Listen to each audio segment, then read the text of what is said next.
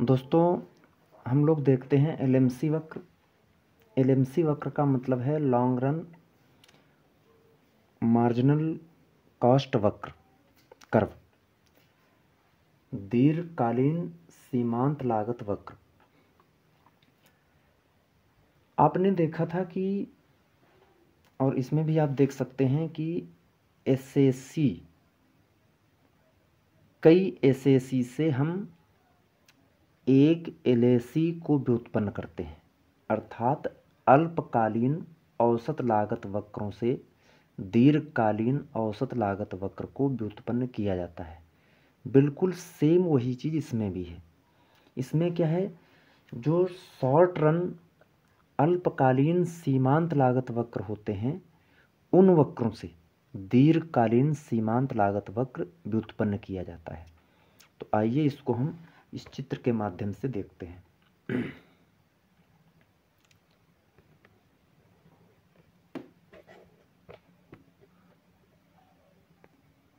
दोस्तों, एलएमसी को व्युत्पन्न करने के लिए, निकाल बनाने के लिए सबसे पहले क्या करना होगा हमें? कि एलएसी वक्र पर एसएसी वक्रों को खींच लीजिए। या एसएसी वक्र को खींच करके बाद में एलएसी वक्र खींच लो। अब जहाँ पर एसएसी वक्र एलएसी वक्र को, ध्यान से सुनिएगा, जहाँ पर अल्पकालीन औसत लागत वक्र, दीर्घकालीन औसत लागत वक्रों को टच कर रहे हैं, वक्र को टच कर रहे हैं। एलएसी को एसएसी वक्र जहाँ पर टच कर रहे हैं, उस जगह से, जैसे एलएसी को एस एस वन कहाँ टच कर रहा है? सी पॉइंट पर। तो यहाँ से एक सीधे लंब डाल दीजिए। एस एस टू ये एलएसी को यहाँ पर टच कर रहा है। यहाँ से लंब डाल दीजिए। इसके बाद में जो एस एस थ्री है, ये एलएसी को यहाँ पर टच कर रहा है। इस जगह से यहाँ के लिए लंब डाल दीजिए। अब इसके बाद में ये करना है आपको। इसको पहले हम लिख देते हैं। एस एस सी थ्री इसके बाद में इतना काम हो गया कि एल वक्र पर एस एस सी वक्र जहाँ टच कर रहे हैं, उन टचिंग पॉइंट से हमने एक्स अक्ष पर लंब डाला। लंब डाल दिया। अब क्या करेंगे जो एस एम सी वक्र है?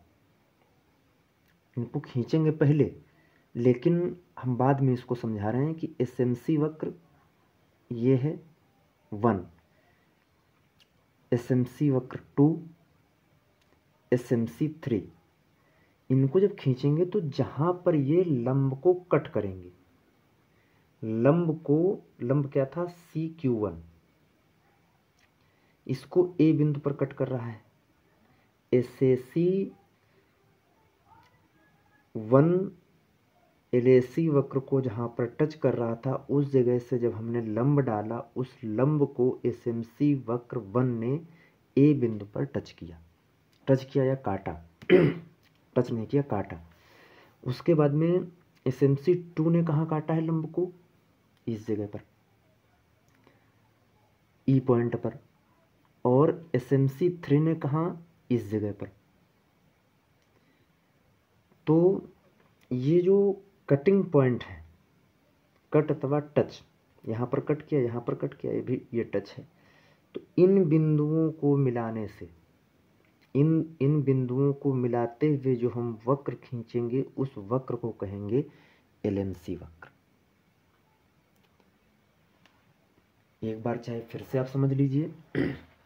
एलएसी वक्र पर जहाँ जहाँ पर एसएसी वक्र टच कर रहा है, उस टच वाले स्पर्श बिंदु से लंब खींचेंगे समांतर, लंब खींचेंगे समांतर रेखा पर, या एक सच पर, समांतर रेखा नहीं, एक सच पर लंब डालेंगे।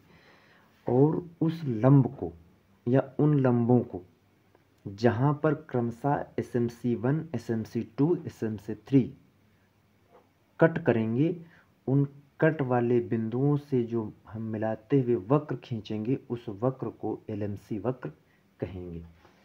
मतलब ये है कि एस से एल बनाया जाता है और एसएमसी से एलएमसी लेकिन एलएमसी बनाने के लिए हमें एस की भी ज़रूरत है एल की भी ज़रूरत है, लंब की भी ज़रूरत है एसएमसी की भी ज़रूरत है। तो उम्मीद है ये चीज़ भी आपको समझ में आई होगी। बहुत बहुत धन्यवाद।